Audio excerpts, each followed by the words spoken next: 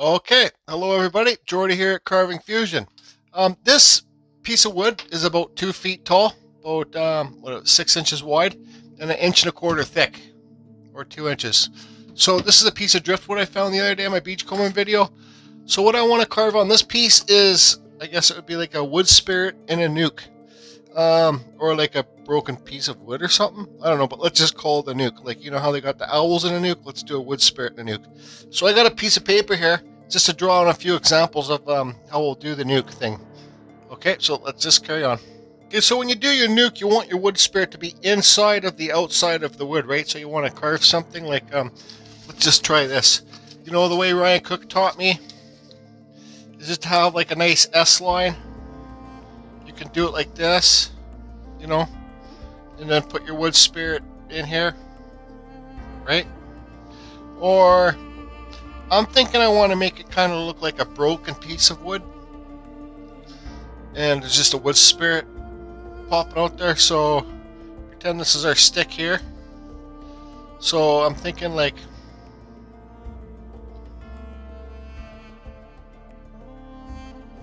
something like that. And then the wood spirit's inside here. So then I don't know if I'd leave it, make it broken, look broken on the bottom, and make it just this beard kind of run off natural. So let's just try and make it look broken at the top, maybe on the sides here. And then we'll put our wood spirit within there, okay? So the most important thing, you got to draw it out. You, I don't know how I want to make this stick, if I want to make it this way, like this part up, or this way. I think this way, hey, it looks like a wood spirit nose right there, actually. I think this way is better because then you can make his beard wider at the bottom. And there's a crack right here I can see. I have no idea what type of wood this is. So let's do this. Let's draw on our top cracks. The wormhole there.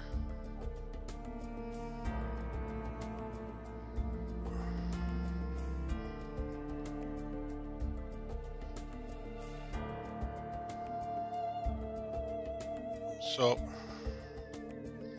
let's do that. Keep it like this.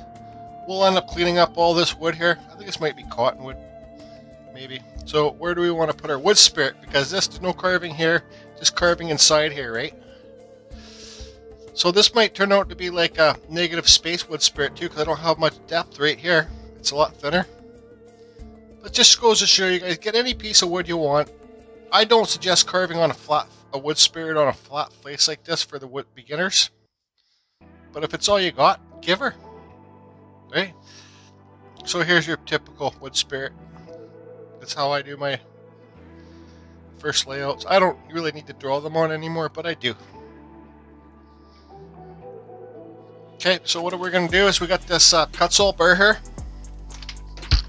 I guess I could have made the cracks, everything up a bit higher, but that's okay I got this Kutzall burr here.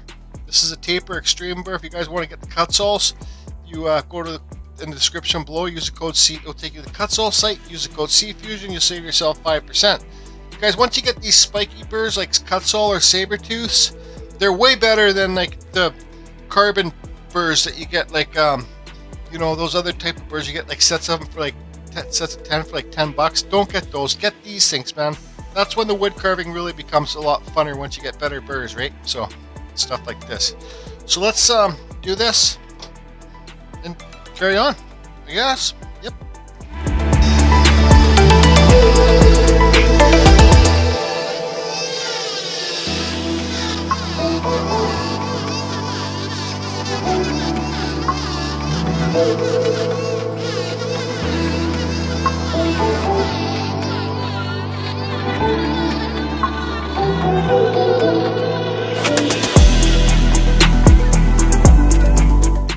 Okay, there you can see I got where it broke, right? So, you know, when you're carving driftwood or wood that you find in a field and it's gray and stuff like that, or like in a creek or a river, the gray part, so I decided when I was, sometimes you could leave that old wood on, that old color on there and just carve it wood spirit here, whatever you're going to carve here and just leave that old, but this stuff, I cleaned this up and some took some of it off, but once you get it, put your stain on it goes really dark like black, right? So the deeper that you carve into the driftwood or the wood that you find when it's weathered, the more that you're going to find the natural color of the wood, right? So here's the natural color. I believe this is, um, uh, freaking, oh no, here we go again.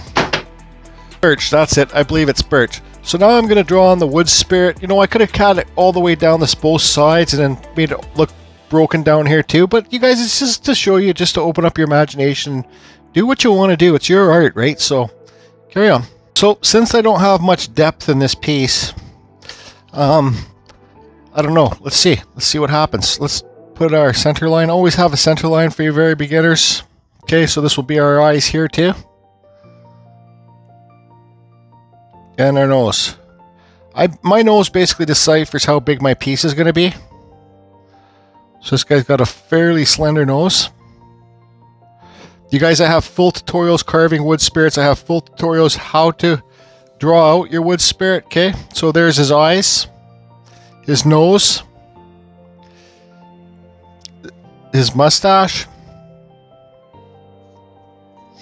And let's try that. Because then, so we won't take his, this will be the side of his face right here. And his forehead, okay? So I think I'm to do this on a time-lapse video. So I'm going to cut all... Yeah, you guys, there's full tutorials on my wood spirits. How to carve wood spirits the way I do. So I'm going to do this on a super hyperlapse speed. Just to get to the points we want to talk about. Okay.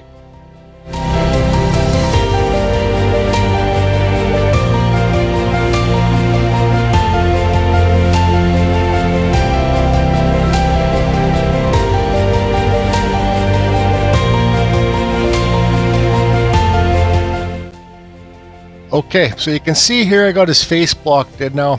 It's it's not nothing special, but it's something, something, something. So you can see right here, I cut through it. Okay.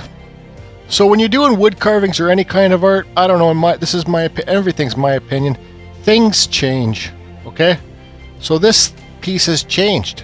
I said at the beginning it could be a negative space piece. So tribute to Peter Blair. So this piece is going to be a negative space piece. All right. So, you know, it's basically wood carving is layers, right? So here's a top layer. Then this is going to be his hair right here. Okay. So you got two layers. One, two. So I think what I want to do to make it negative space, I'm going to carve more of this out. So make it hollow in there. Um, and I'm going to carve his hair back so that his hair tucks underneath these cracks and you'll see some back, I'll cut right through back there and you'll see some background there too. Okay. And then, so here, it's going to be another layer. His beard's going to come down here, okay? I'm going to make it come, it's so the beard's going to be like coming out above the tree. We'll pretend this is the tree, right? This stuff here. His hair is going to be coming out above the tree. And then I'll cut some negative space underneath the beard and make it hollow down here like it's broken down there too or something. I don't know. It's just an experiment, guys. Art's just an experiment. Have fun. So I normally don't draw my beards on, but um, let's just make his beard like this. Okay. So then down here, I'm going to cut right through it this way, and there'll be some negative space, you know, right here. I guess. Yep.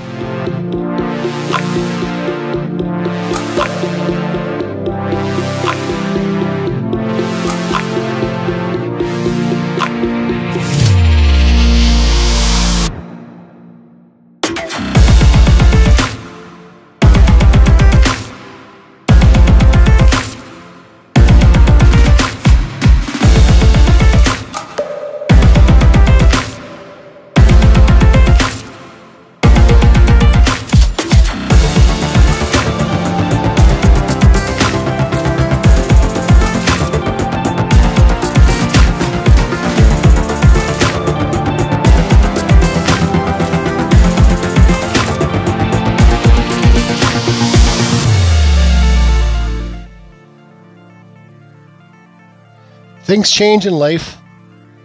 Sometimes we just have to adapt and move on. That's what happened with this piece. This whole left side blew out. I don't care. I adapted and move on. That's what you get with driftwood. Sometimes you just don't know what you. Well, what did uh, Forrest Gump said? Sometimes you just don't know what's in a box of chocolates. Well, same kind of thing for this. So I think I'm pretty well good carving. The only concern that I have about this piece is that I still have all this color, this this grayish color on here. I've even carved that, So I got to carve this deeper because let's do a spit test. Three, two, one, goober test. But look that little bit. Look how dark that went. That's just from the weathered wood, right? So I got to look how deeper I have to carve all that. See that that gray, where it goes from the white to the gray. I got to carve like half inch deeper here and up here too because this is turning out to be a good piece. I'm liking it, right? So negative space. Carry on. I'll get all this cleaned up. I'll carve an eye in it and uh, we'll finish her up. Carry on. Okay, so I've done some sanding up top here. That's all smooth now. I did some burning inside there just to try it out. this is just a little butane burner, guys and girls and everybody. Um, so my objective wasn't to burn for effects. My objective was to burn the fuzzies away because there's a, a carve pretty deep in here, so it's hard to get to the fuzzies with your flap sander. So I've already gone through one thing of with the flap sander. Okay, this is a Peter Blair mandrel. His email will be listed below to get these. Um, this is emery cloth. So that emery cloth means it's cloth back sandpaper. I do uh, five strips or four strips going one way and then a couple strips the other way. So when you're sanding, you get all you get all sides, right? And you can buy rolls. Uh, this is um, I got this from KMS Tool, but um, you can buy rolls of this stuff. You see, it's just cloth back. Anyways, so I'm gonna do more sanding. Oh yeah, everybody, don't forget about safety. Wear your dust masks. If you think you're um, stuff's repetitive and you got somebody that says, Is that all you carve as wood spirits? Is that all you carve as bumblebees? Or is that all you carve as bears or foxes or goats or pigs or squirrels or Jesuses or whatever you carve? Mix it up. You know, don't think that you're a bad artist because you carve the same thing over and over and over again. Because, for example, well, I'm not the best artist. I'm getting better with every one I do. I love carving the wood spirits. You know, this guy kind of looks a little bit like the devil but he's cool. Um, I love carving the wood spirits, but me mixing it up is doing this negative space stuff. You know what I mean? Challenging, challenging yourself on different levels. You know, so don't ever listen. I've said this in a couple of my other videos. Don't ever listen to anybody say, "Is that all you, you ever carve?" Because once you kind of get, for example, the face I got here figured out, then you can start doing it into different things. You know, I could have carved this face and I could have carved leaves all the way around it. I could have carved flowers all the way around it. I could have carved goats all around it. I could have carved whatever I wanted to carve. That's what it's about. Do what you want and don't listen to the people that think that you, that you do repetitive work because every piece you do you're going to get better and better and better. Carry on.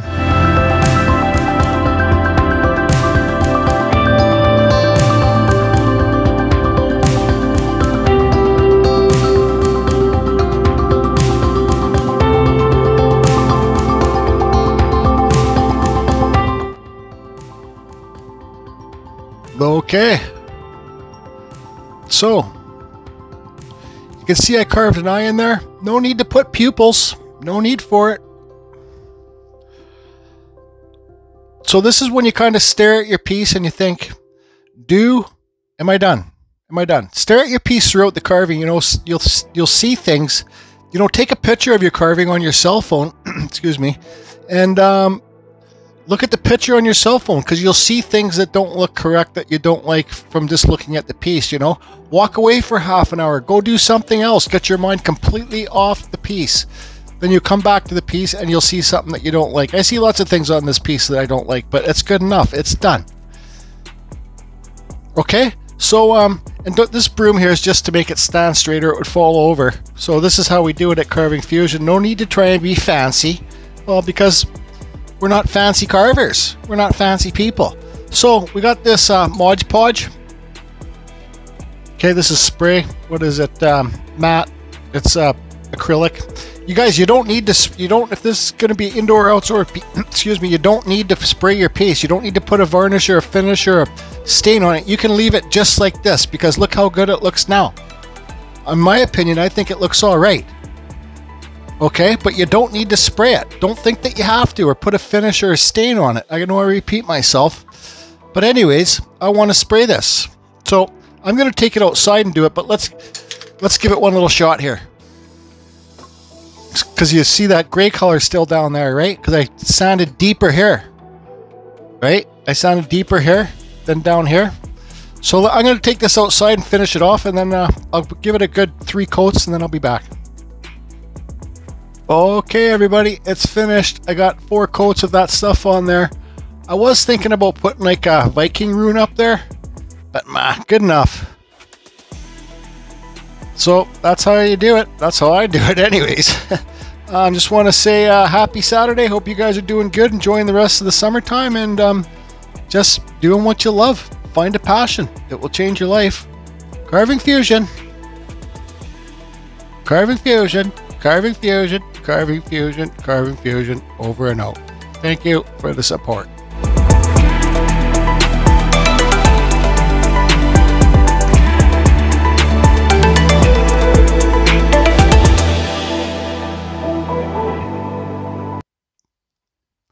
One more thing. Just carve Rob.